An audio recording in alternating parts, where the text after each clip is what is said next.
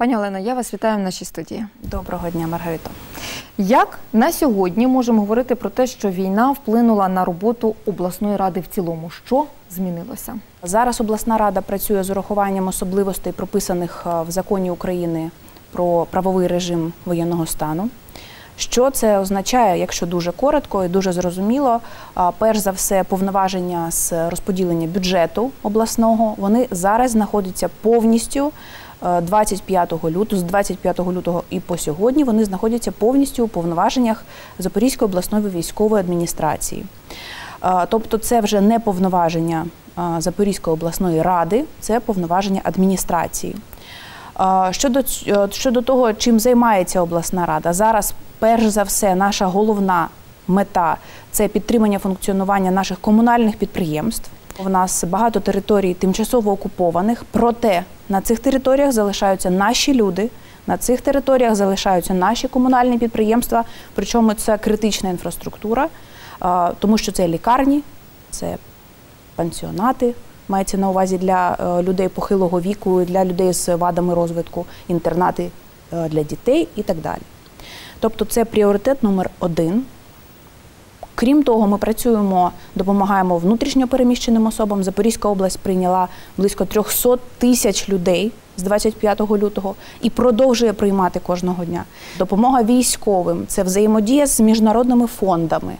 Власне, ви зазначили, вже згадали про тимчасово окуповані території. Е, Як з ними працюєте? І власне з тими підприємствами, які там розміщені? Це дуже важка робота, тому що, на жаль, росіяни не дають здійснювати нормальну функціональність. Її нема на сьогодні. Проте е, зі всіх сил, які в нас є, і з допомогою правоохоронних органів, і з допомогою просто волонтерів. Ми направляємо все, що можемо, все, що в наших силах, все, що дають направити туди, туди е, росіяни. Ми направляємо допомогу і працюємо повністю е, з даними підприємствами. А чи є, наприклад, депутати на сьогодні, які залишаються на тимчасово окупованих територіях або на територіях, де тривають бойові дії? Ну, Є кілька депутатів на окупованих територіях. Вони на комунікації, вони працюють в своєму режимі. З рахуванням того, що є території, які тимчасово окуповані і складно дійсно взаємодіяти, є ті, які знаходяться під обстрілами постійними. Якось тут чи розробляється е, в облраді план безпосередньої подальшої взаємодії, аби дійсно підтримувати зв'язок і мати змогу працювати і вдалі? Ну, е, план як таковий він не потрібен, тому що кожного дня ситуація змінюється і за кожною громадою, і за тим, хто представляє інтереси окупантів, і так далі. Щодо співпраці, ми співпрацюємо і на зв'язку, і на комунікації кожного дня з громадами. Розуміємо проблеми. На жаль, в чому складність і важкість е, саме в Запорізькій області. Це в тому, що так територіально розташована лінія фронту і так розташована Запорізька область, і таким чином розташовані громади, що направити а, крізь росіян неможливо. Особливостей в цьому році дуже багато, тому що війна змінила все. Тому ми намагаємося передати і те, що необхідно для обігріву перед опалювальним сезоном, і медикаменти, і продукти харчування. Проте, е, якщо в відсотковому відношенні скільки доходить, воно ж може розкрадатися росіянами, може бути просто е, забрано е, і все. Власне, а чи є на сьогодні така ситуація, що працюють або працювали до цього, вже зараз не працюють в обласній раді депутати від партій, діяльність яких підпадає під дію закону України, власне, про заборону діяльності проросійських партій в Україні? В Запорізькій обласній раді е, чисельність депутатів 84 за законом. З них 31 депутат раніше належав до політичних сил ОПЗЖ або, або опозиційний блок.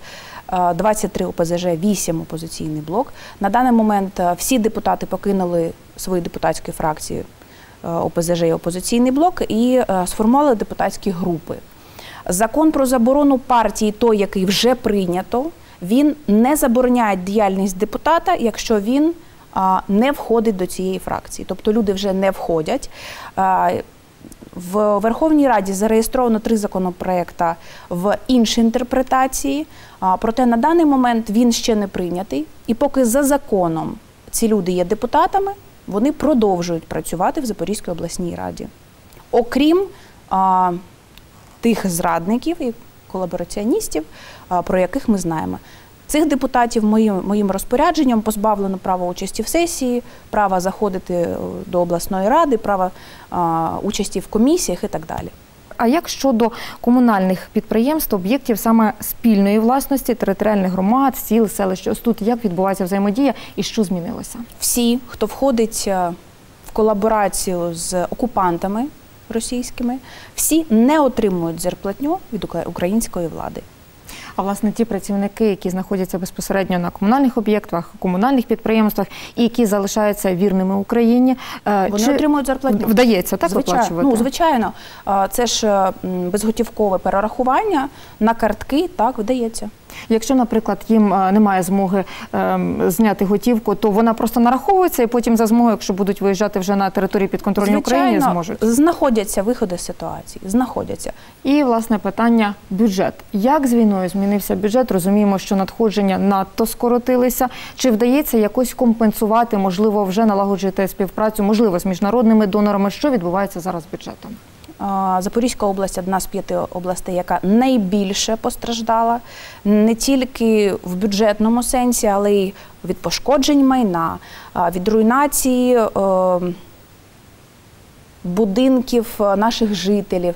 Ну, багато від чого постраждала. Але дуже постраждала наша промисловість. Ні для кого, мабуть, не секрет, що е, обласний бюджет, та як і всі, мабуть, бюджети ж вони ж формуються з податків. І дійсно, з початку березня, коли було помічено великий е, відтік людей Запорізької області, якісь бізнеси просто повністю, які змогли, переїхали в Івано-Франківську, Львівську область, а якісь бізнеси повністю зупинились, якісь бізнеси е, не працювали 2-3 місяці. Якісь тільки розпочинають відсотків на 10 працювати. Відкриваються кафе, ресторани, відкриваються сфера послуг. Ну, це зрозуміло. Ми це бачимо кожного дня на кожній вулиці. Е, Запрацювали наші заводи, вийшли з гарячої консервації. Якщо ми всі будемо продовжувати працювати і продовжувати працювати саме в цьому в цій області, в Запорізькій області, то це дає надію на те, і так буде, на те, що ми обов'язково впораємося з цим. Щодо як компенсувати, ну я бачу е, три шляхи. Перше це економія, і це буде звичайно. Е, Економія там і на комунальних підприємствах, е, і на будівництвах нових, звичайно, зараз не до будівництв. Е, Друга економія, друга, другий шлях це гранти міжнародних фондів. Дійсно розпочинається потихеньку, дуже дуже обережно з нами працюють, це правда. Е, Гранти міжнародних організацій. І третє це субвенції з державного бюджету.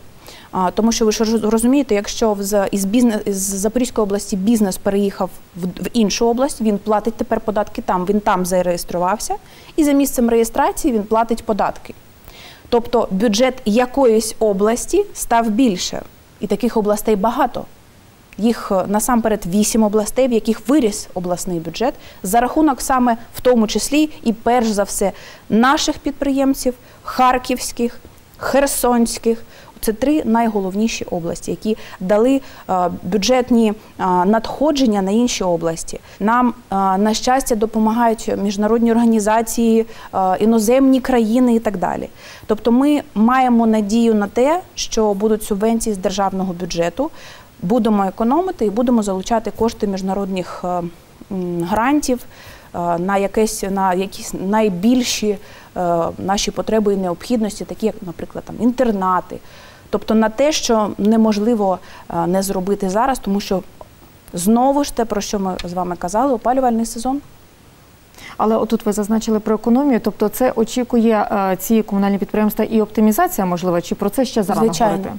Е, точно можу сказати, що комунальні підприємства Запорізької обласної, обласної ради вони будуть дуже оптимізовані. З попередніх каденцій нам дісталося дуже багато комунальних підприємств, які зараз е, вичерпали свою необхідність. Е, Або вони не вичерпали необхідність, але ми просто не можемо зараз у військових умовах дозволити собі такий штат, або таку структуру, або такі зарплати цим фахівцям і так далі. Тому е, я вам точно можу сказати, що вже поступають сигнали від багато великої кількості людей а, про те, що ось давайте не будемо скорочувати. Ну це неможливо. Треба е, зглянутись на реальність об'єктивно і сказати про те, що е, дійсно підприємства будуть оптимізовані і будуть оптимізовані достатньо, достатньо жорстко. Цього вимагає військовий стан. Тобто ринок праці, скажімо так, е, поповниться безробітними, яким треба Я буде не шукати. думаю. Я не думаю, що це буде така прям навала. Е, Ми не, не зможемо оптимізувати лікарні, тому що на них збільшилося навантаження. Є підприємства, які неможливо оптимізувати. Це дитячі лікарні, це інтернати. Інтернати будуть оптимізовані, якісь будуть злиті в один. Е, Я не думаю, що це буде така драматична проблема з кадрами. Дійсно, якась кількість- вивільниться. Е, Проте ми теж будемо обов'язково пропонувати людям. Ми нікого не будемо виганяти на вулицю. Ми обов'язково будемо пропонувати ті вакансії, ті вакансії, які є в нас в інших закладах. Ну, треба потрібно якось е, перебудовувати своє розуміння ситуації, тому що зараз війна. По-іншому вже не буде. Тому так, оптимізації бути. Пані Олено, я вам дуже дякую за розмову. Впевнена, що будемо ще неодноразово повертатися до тих питань, які будуть виникати. І віримо Збройним силам України і швидкій деокупації тимчасово окупованих територій. Так і буде. Дякую, Маргарита.